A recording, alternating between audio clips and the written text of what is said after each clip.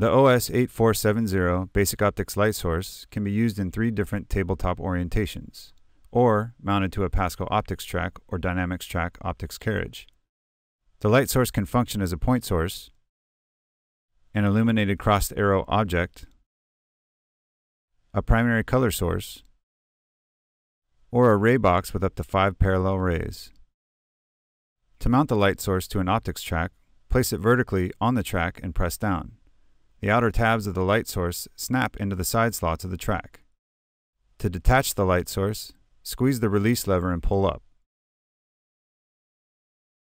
Similarly, the light source can be mounted to a Dynamics Track optics carriage by placing it in the center of the carriage and pressing down to snap it in place. To use the light source as a point source, mount it vertically on an optics track or carriage with the point source opening facing down the length of the track. The halogen bulb's filament closely approximates a true point source by projecting light through the round opening in the case, but its actual location is about 3 centimeters behind the outer surface of the case, as indicated by the marks on the tabs.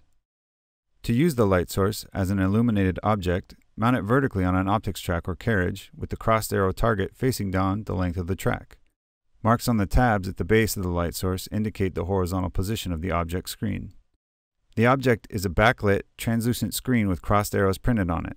The pattern is asymmetrical, so you can tell if images formed by lenses and mirrors are reversed or inverted.